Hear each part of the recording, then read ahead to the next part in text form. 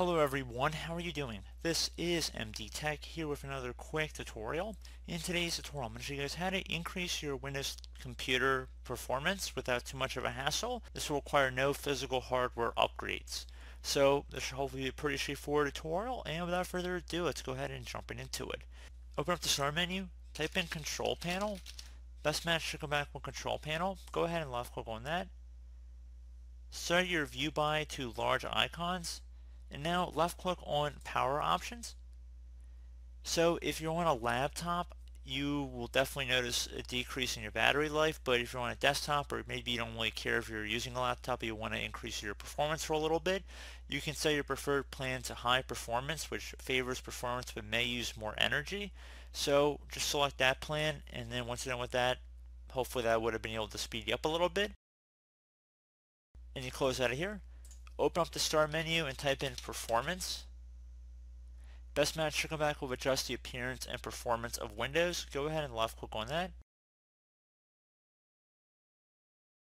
Select the option that says adjust for best performance and then select apply. Give it a moment here. Please keep in mind if you want to re-enable certain performance options, you're more than welcome to just by checking individual options but this will adjust for the best performance so that's as the name implies it's going to turn off the unnecessary eye candy stuff as I would describe it. Go ahead and left click on OK now that you've done that hopefully you speed up your computer a little bit more. Another thing would be to open up the start menu type in programs and features. Best match to go back with apps and features. Open that up. If you were going through the control panel on Windows 7 or Windows 8 you could select programs and features through there go ahead and look through a list of installed programs on your computer and if you find one you no longer need I would suggest just going ahead and left clicking on it and then select uninstall. Please note if you're on Windows 10 there's some that are installed by Microsoft so you might not be able to uninstall all of them but just keep that in mind so if you have any that you know you purposely installed you can just go ahead and left click on it and then select the uninstall button and just go ahead and uninstall unnecessary programs in here. Another thing would be to go ahead and right click on the taskbar, select Task Manager, and now select the Startup tab. So if you're on Windows 7 or Windows 8, you'll have to go in the Start menu and type in msconfig. Best match to go back with system configuration, so go ahead and left click on that. And then select the Startup tab. So basically on Windows 10 they moved everything to the Task Manager, so that's why we're going to be in here. But if you are on Windows 7 or Windows 8, go through the msconfig utility that I just showed. And any programs in here you don't recognize or don't really probably need, you can go ahead and just left click on it and then select disabled. So you can see I've already gone ahead and disabled some services in here. So you can see the startup impact if it's low, medium, or high. Go ahead and just select the disable button and you can always re-enable them down the road. It's just as simple as clicking on it and then select enable. The status type is already listed here, so you don't really need to worry too much about that. You'll know if it's enabled or disabled. So hopefully again that would have been able to increase your performance a little bit. Another thing you could try would be to open up the start menu, type in disk cleanup. Best match should go back with disk cleanup. Go ahead and left click on that. Should say disk cleanup, you want to select the cleanup system files button.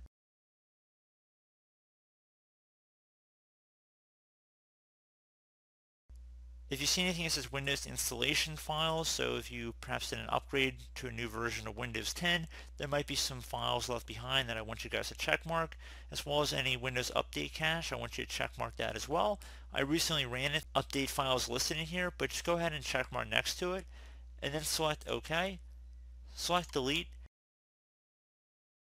There's really no harm in running this utility. I've never had a problem with it before personally, so just go ahead and run that.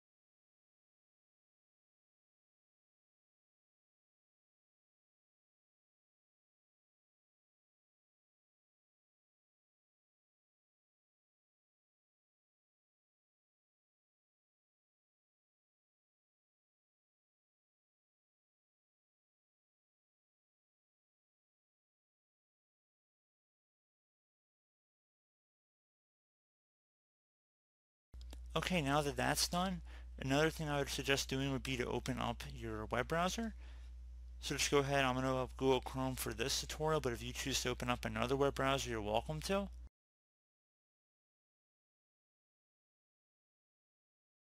And you want to go type in google.com, you want to go search that up.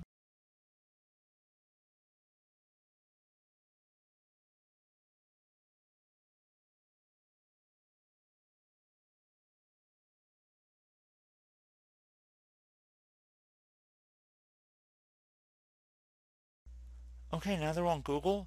You want to go into the search bar and type in CCleaner, so C-C-L-E-A-N-E-R. Hit enter on your keyboard. One of the best matches should come back with CCleaner.com. Clean up and speed up your slow PC. Go ahead and left click on that.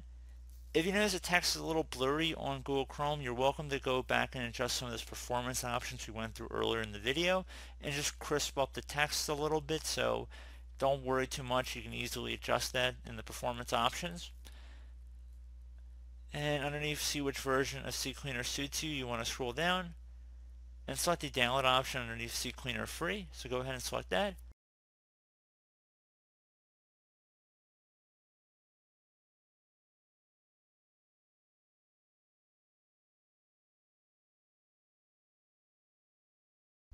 And then I'm going to scroll underneath the free section and then select download. So while this is downloading, I'm going to actually open up the start menu again just to go back and adjust the performance options just so we can go ahead and resolve that without too much of a hassle if you want to change that text back. So we're going to just go adjust the performance again just so we can clear up this text a little bit, make it look a little bit more normal, I'd say. Honestly, it doesn't really bother me, but it might bother some of you guys here. Go ahead and select Smooth Edges of Screen Fonts, and then select Apply and OK. Please know you will have to restart your browser for that to take effect, so we're going to open up CCleaner's installer file here. It's going to ask, do you want to allow us to make changes to your device? Select yes. So now while that's installing, we're going to go open up Google Chrome again just to show you guys that it should have resolved that little font issue that we were coming across. So a lot of this is always trial and error too, so you're welcome to go ahead and adjust that. You can always change it back. And you can see the text now appears as it once did. So we go back to ccleaner.com. The text should look fine.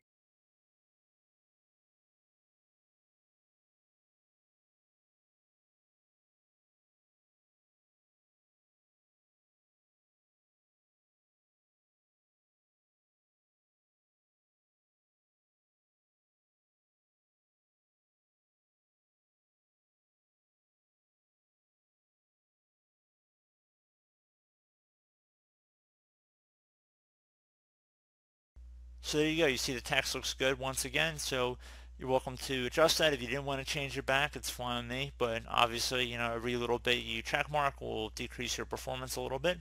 So anyway, if you want to go ahead and install the CCleaner browser with the CCleaner application, you can keep this check mark down here. Otherwise, uncheck it and then select Customize. So you don't have to keep all these options checked. Personally, I usually add a desktop and start menu shortcut and I uncheck the other two options underneath but I keep intelligent cookie scan enabled and then select install. So we're going to uncheck the box where it says view release notes and then select run CCleaner. Select custom clean. Please note before we run this if you have any saved passwords or anything online so if you have your Gmail account preferences signed in automatically make sure you have your passwords around so this is actually going to be cleaning out your website caches and cookies and whatnot so we're going to keep most of the stuff checked. If you want to uncheck anything, it means it won't automatically delete it. So if you want to preserve safe passwords or cookies, you just uncheck the option there so it won't automatically scan for it. And then select Run. The selected files will be deleted from your PC. Select Continue.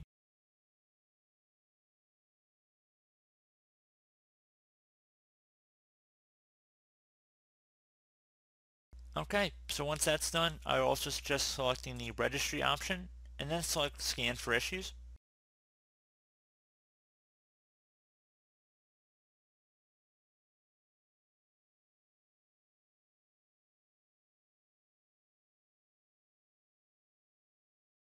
And once that's done, I would suggest selecting Fix Selected Issues. It's going to ask do you want to back up the registry before making changes. Select yes. For file name, I personally suggest naming it the date that you're making the backup. So I'm just going to put today's date here.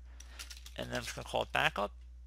Select save, save to our desktop here. So if you ever needed to revert the changes, you just would double click on it and it would reinstall the entries to the registry. So pretty straightforward. So basically our safety net there. I've never needed to do it personally, but if you needed it, it's there. So should say unused file extension or something along those lines. Go ahead and left click on fix all selected issues and it should automatically run through all of them pretty quick. Select close, close out of here, restart your computer, and hopefully I was able to show you guys some quick and easy tips of how to speed up your performance of your computer. So as always, thank you guys for watching this brief tutorial. I do hope I was able to help you out, and I do look forward to catching you all in the next tutorial. Goodbye.